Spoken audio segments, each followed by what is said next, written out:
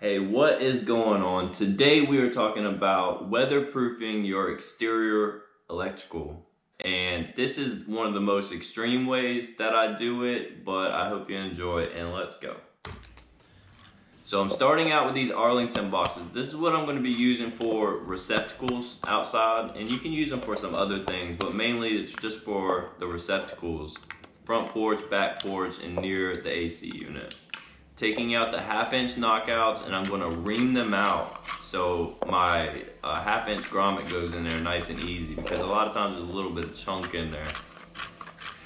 I have two three and a quarter pancakes and that is going to be for the coach lights on the garage and I'm just taking out these extra screws that I don't need because I won't use those pressure connectors.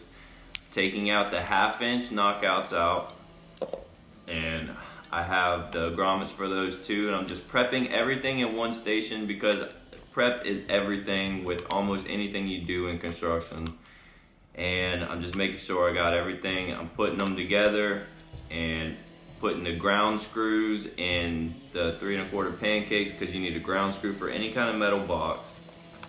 And then I'm using 5 16 hex heads, inch and a half long. I think that's what it is.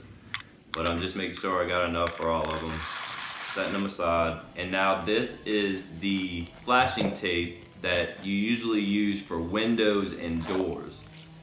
So we're cutting some long pieces. They're about, I don't know, 14 inches long. I'm just guessing, just making sure that they're long enough. And then I'm gonna cut some other pieces about eight inches to 10 inches long for the sides. So you'll have three pieces of that flashing tape for each one. I'm just guessing how many I have, just making sure I have enough. so we're just gonna pass them out at all the locations that we're gonna need because it's gonna, every location for the electrical is gonna need. Don't forget to like and subscribe if you like this video. I could, I could use it. Anyways, so just throwing it out, all the electrical locations, and then I'm passing out my other material, the receptacle boxes, and pancakes. And then these right here are the flashing pieces that I'm using. Those blue ones are for the pancakes, and if you have vinyl siding, you're gonna need octagon boxes, which are different. They're a little bit, they're a little bit harder. And carrying a garbage box around with you makes things a lot easier because the wind starts blowing and it'll pull those little paper pieces all over the place. So I put the box on just a little bit just to see where I need to cut that top line and then I do the two on the angle. So before we go anywhere with the tape, we're just gonna make sure we get this receptacle done and make sure you're not hitting the wire with the screws. Uh, so anyways, just cut in the receptacle and then we're gonna start with taping the sides first. So just one side and then two sides and then you want to make sure that this piece reaches to the end of both pieces of tape, which is well over right here. And I guess what it is, if water ever gets down the wall behind the siding, you want to make sure that it's funneled and comes out right there in the middle. So we're using um, green tape, Tyvek tape. It's usually just for like the house wrap. And you can find them on the job sites just lying around. They leave extra. This is for the water heater. I have a power wire and I have a signal wire so you can go into the garage, you can change the temperature of your gas water heater. But whatever it is electrical, they make some flashing for it. So same thing with this little plastic piece. One on the side, one on the other side, and one on the top.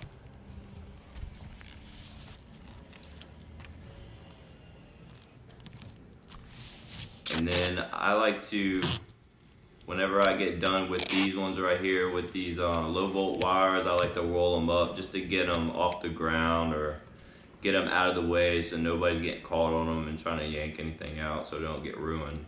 Okay, with these two right here, this is a receptacle and for a disconnect for the AC unit, but I put them a little too close together, but I kept it in the video just to show you what I would do if it was. Like I wouldn't go on the other side and I wouldn't re-drill it and move it.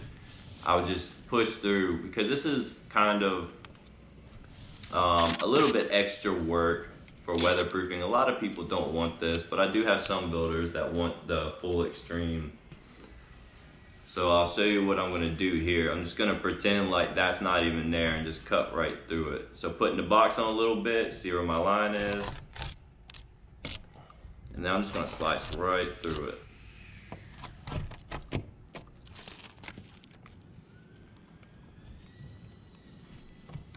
So once again, just pushing the wall up, making sure it's straight, sending them screws through and cutting it in, getting it out the way.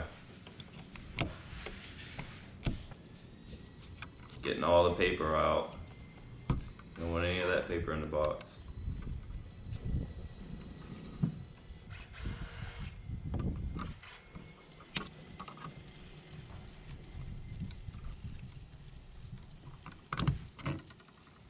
And this is pretty much it for almost everything when you're doing this weatherproofing stuff. It's just one after the other. It's either got um, like a specific piece for it or not.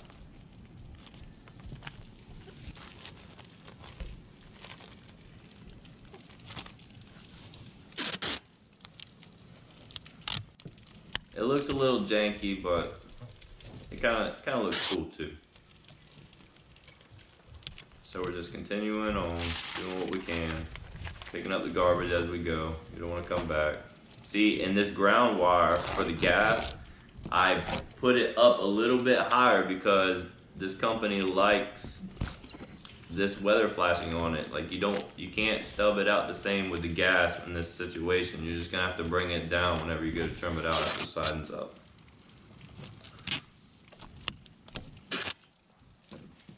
Just as usual.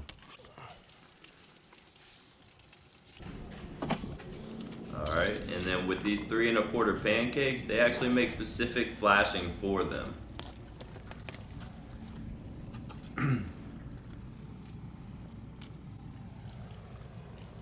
so we're gonna go ahead and trim off a little bit, and slide it up on there.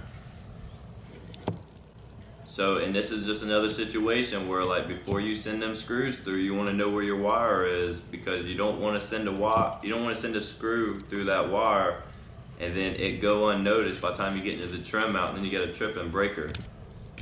So we're tightening down that ground screw first. Like I think that that's important with these pancakes. And then you're sending those screws through because it's a lot easier to put that ground screw down before your hex heads go in. And we're just doing the same thing but just a little bit bigger and popping those staples out. These ones are a little tough to go on, so I use my hammer. And the same as we've been doing, you just need a little bit longer pieces, and they don't have to go all the way to the bottom either. This piece I cut a little bit short. I thought about doing something about it, Then I said, fuck it, send it.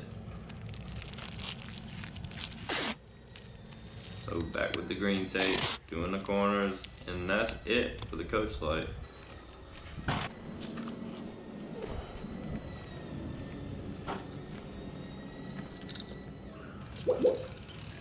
And I don't know if you can tell, but I get a little bit of camera shy. And to me, this is kind of like a stupid video, but I get that a lot of people would like to see like how we actually protect our wires on the exterior. I know I heard like a couple comments, people talking like, "Oh, well, you're not protecting." I don't know. I don't know what the hell a lot of people are talking about in the comments, but is what it is. Things are different in my area. So anyways, once again, doing the same crap.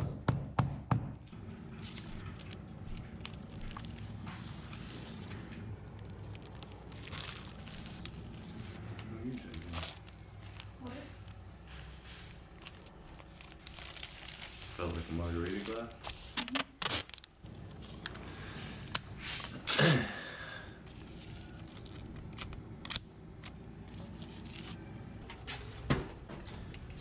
Okay, doorbell is going to be a little bit tighter. Might not be able to get those angles you want on the side, but it's mo it's mostly just the effort that matters.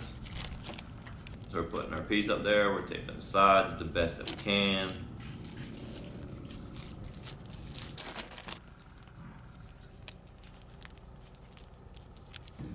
And a lot of builders want that doorbell button in the um, door trim but the reason I have it off of the door trim is this builder puts in ring doorbell kits for every house. So it's a little bit off and you want it to be a little bit high just so like you're not just looking at somebody's balls when you're looking at the camera. So you want to raise it up a little bit and, and see more of like a chest head height. But, I mean, I, that's a little bit Make sure this box is straight because once it's there, it's there forever. Cutting it in. I hate it when people do not cut in their outside receptacles. It's so annoying to do that. I don't carry crimp sleeves on the trim out. It just, it bothers me. But anyways, my work won't be like that.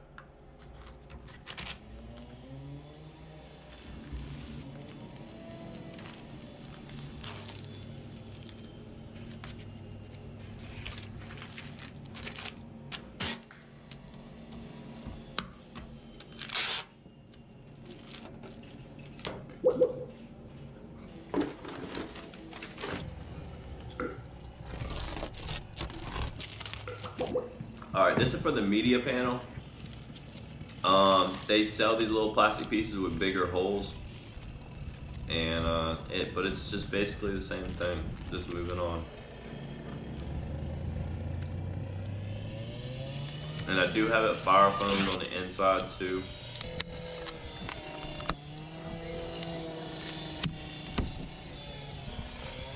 And then right here, this uh, panel and meter base area.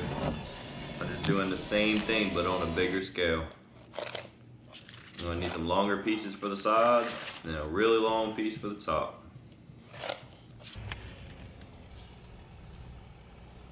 Just takes you a second, just gotta, doesn't have to be perfect, just has to be in there.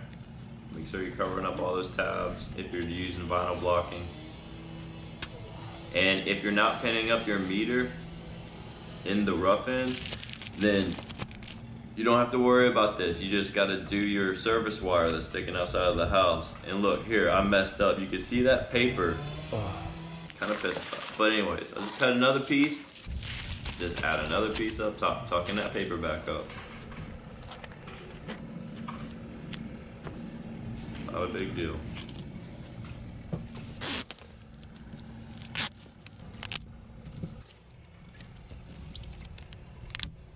And there you have it. And that's the it. It's really all there is to it. Ain't nothing else to say. Nice and simple video. Thanks for watching. See you on the next one.